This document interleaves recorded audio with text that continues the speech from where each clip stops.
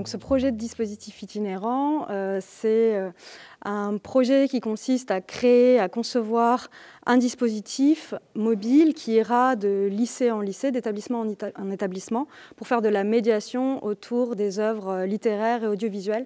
Donc l'intérêt est de créer vraiment un espace, un objet, on ne sait pas trop encore quelle forme ça pourra avoir, euh, qui, euh, crée euh, du lien, de l'échange autour de, ces sujets-là et de la rencontre en fait entre élèves et intervenants, animateurs qui viendront parler de leurs œuvres aussi. On a, eu un premier contact en fait euh, de Solène qui, Brun, qui est représentante Alca, en fait, qui euh, a proposé euh, le projet, l'idée du projet. Nous, on s'en est en pris directement, on a répondu à son, appel et on a pu construire en fait l'aspect nous pédagogique et, accompagner en fait d'Alca sur le projet plus bah, par rapport à leurs demandes et comment ils pouvaient faire venir intervenir Chloé. Je suis donc missionnée par l'ALCA pour euh, la partie conception du dispositif euh, qui comprend euh, une partie participative où on va faire appel à des élèves de trois lycées, des élèves de terminale ST2A.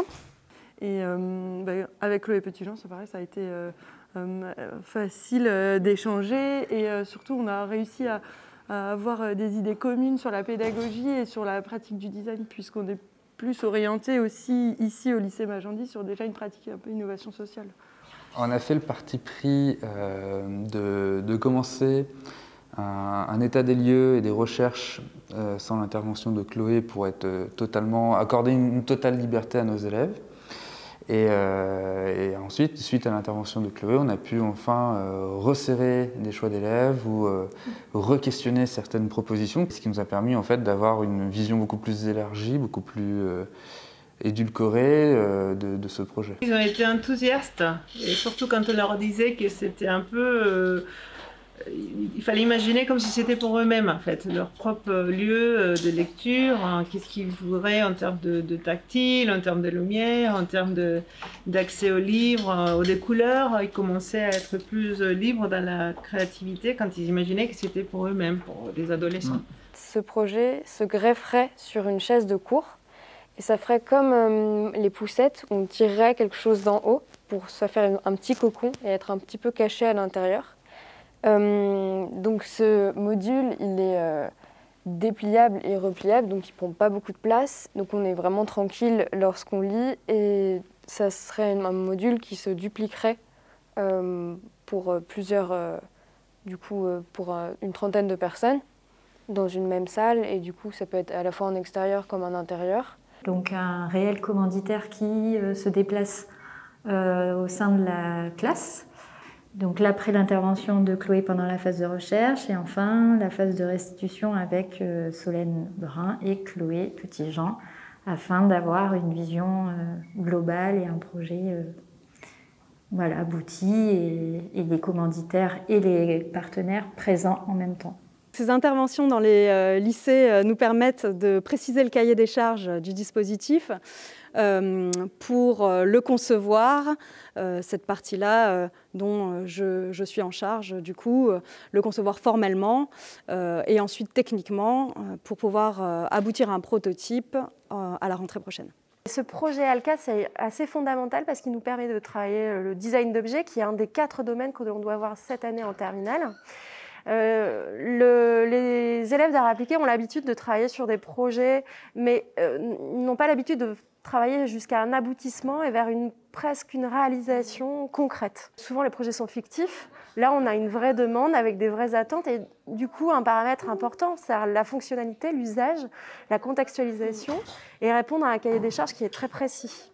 Et pour eux, c'est assez motivant puisqu'ils sont la cible de la structure, en fait. Et euh, également, euh, ben, euh, ils participent à la conception et donc à la réflexion de, de, cet espace et ils peuvent donner leur avis et en même temps projeter eux-mêmes euh, la conception euh, de ce projet. Les temporalités comme ça longues euh, de projet, c'est les amener aussi à, faire évoluer, à se re-questionner, à euh, progressé, on les a fait refaire certaines parties, notamment euh, refaire des esquisses, refaire des mises en situation, refaire des perspectives, améliorer une communication. Donc du coup, en fait, euh, toute cette partie qui paraît être refaite ou, ou, un temps perdu perçu par eux, en fait, c'est un temps de progrès, c'est un temps de progression. La finalité, c'est qu'ils sont plus, bah, ils sont contents en fait d'avoir des planches ou un travail qui, qui va jusqu'à l'objet euh, maquette, mm. euh, jusqu'à une finalité euh, qui va être jusqu'à une mise en valeur du, du, projet par le dessin. Et un dessin beaucoup plus abouti. Je trouve ça très, très riche du coup de pouvoir travailler sur ce sujet avec les élèves parce que c'est les premiers usagers, ça va être les premiers concernés. Et ils sont vraiment, comme ce sont aussi des, des élèves qui sont habitués à, l'art, vu leur section. Euh, ils sont vraiment, euh, les propositions sont très riches et très diversifiées en fait. Il y a plein de choses euh, auxquelles j'aurais pas du tout pensé, et donc ça, ça vient vraiment alimenter le projet, ça qui est, qui est très intéressant. C'est un partenariat qu'on n'avait pas encore mm.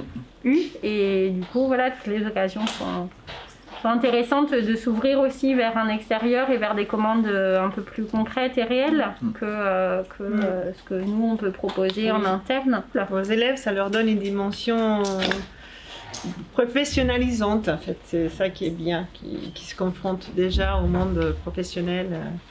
Donc c'est bien pour eux et pour nous mm. aussi. Et au monde professionnel, avec toutes ces incertitudes aussi et toutes ces, ces non-réponses sur certaines questions, parce, que, euh, parce que ça, dans la vraie vie, ça existe. Et qu'en fait, souvent, les élèves considèrent qu'un sujet, il doit être complètement complet, euh, cadré et qu'il n'y a aucune, euh, aucun inconnu. Et en fait, dans la vraie vie, c'est pas comme ça que ça se passe. Mm. Donc ça, c'est chouette qu'ils le constatent. Mm. concrètement et qu'ils s'y préparent aussi. Quand ils vont faire des études supérieures, globalement, très souvent il y a des appels à idées. et ça correspond exactement à ce qu'on fait avec vous. Et après, euh, de se faire aussi un peu plaisir, parce qu'il y a quand même la dimension de plaisir à retenir dans le projet.